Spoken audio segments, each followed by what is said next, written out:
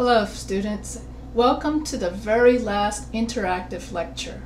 So we are at the very last week of this class. So let's get started. Reflecting. In the first week of this class, we talked about how your writing will move from personal to less personal in school. At what other times do you think your writing will be less personal? What I learned is that my resume should be professionally written and not as personal as I had first thought. Following a process to revise my essay definitely helped to improve it. Tom is correct in reference to following a process when writing. That process begins with planning, organizing, drafting, revising, and then editing and proofreading. I know that my chosen career field requires me to act like a professional at all times, but that means my writing as well.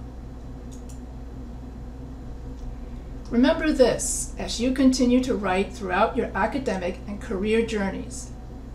Remember these tips. Click on the right button. Be patient with yourself and others.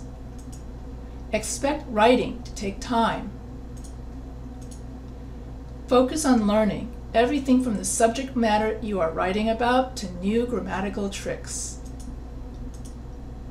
Use support and guidance from your peers to your instructors and smart thinking as well. Look for ideas in what you read. A final note. Do not lose faith in your writing abilities. It may take time, but you will improve your, your skills the more you write.